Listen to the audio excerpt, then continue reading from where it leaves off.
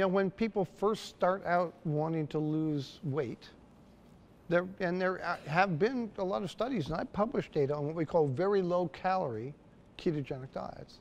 And that's where we give protein at the, uh, the dose we use, which is, you know, if you're thinking, quote, macros around uh, how much you, energy you burn per day, typically we have people eat 10 to 15% of their daily energy requirement is protein. And if we keep carbs really low, it might be 5% of your daily energy requirement for protein. Yeah, those up, you're at 20%. And you, we can feed people. And you, how many of you remember Oprah Winfrey went on a, a packaged formula diet for five months, lost 63 pounds, bragged about it on stage.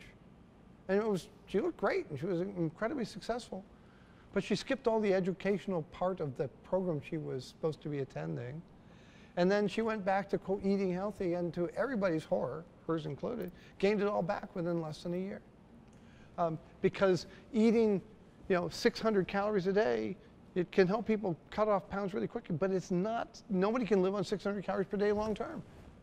Uh, and if her daily energy need was 1,800 calories a day for maintenance, and it might have been that or higher, and she's eating 600, there's 1,200 that is not, you can't get it from the air.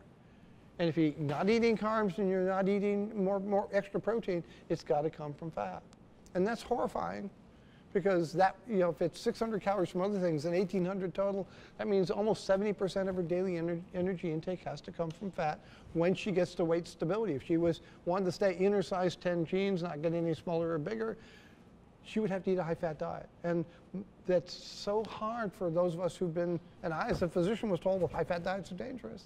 I was taught that. Um, you know, it's, it's very hard for people to get past that. And we call it the fear of fat. Uh, and it's, it's a learned problem because if I go back a bunch of generations when my, you know, my ancestors originally came from Scandinavia and before the potato was imported from the New World, they didn't have a whole lot of carbs. So particularly in, you know, in the wintertime, they were living on, on fish and, and meat and dairy.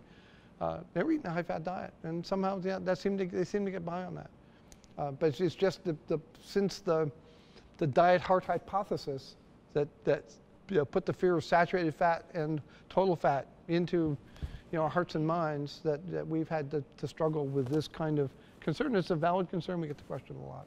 Yeah, and, and just remember too, think of it this way, there's three macronutrients, right? What we eat is either carbohydrates, proteins, or fat.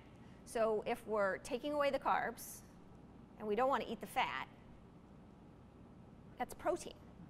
And if anyone has ever tried to consume a really high protein diet, right, and not necessarily, and not just consume maybe 600 calories, what happens? You feel crummy, right?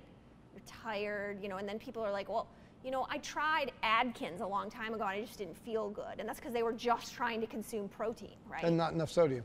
and, yeah. Together, it's a, yeah. And so, you know, we, we, we can't have a high protein diet and expect people to feel really good. And the fear of fat also comes into because people are like, what does that even look like? Like, you know, people have this image of what a high fat diet looks like in their head. And once again, I'll have to congratulate and applaud our health coaches do a wonderful job of helping people understand it doesn't mean you just eat butter.